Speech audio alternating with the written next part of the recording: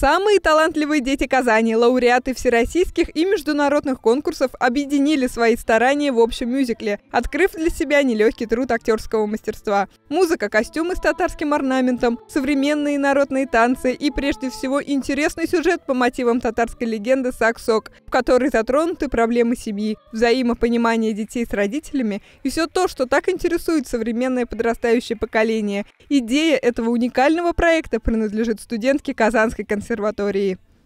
Наш мюзикл основан по мотивам древнего татарского баита «Сок и Сок».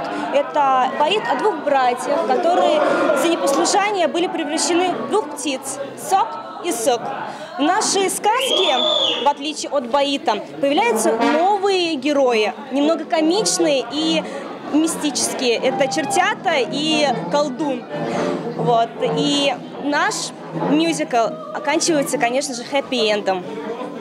Юные актеры исполнили сложные вокальные партии под композиции исполнительского состава детской школы искусств имени Балакирова и оркестра «Сфорт-Сандом». Музыка для проекта была специально написана молодым татарским композитором Ильясом Камалом. По признанию участников, для них этот проект стал сложным и ответственным, для многих первым. Это мой первый мюзикл.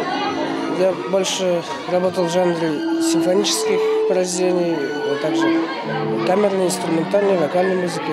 Это не сложно, это мне интересно. Я с удовольствием принял это приглашение участвовать в этом проекте. Без нас этого мюзикла бы не было, потому что мюзикл это в первую очередь песни, музыка, слово, действие, а без оркестра нет ни музыки, нет ни песни.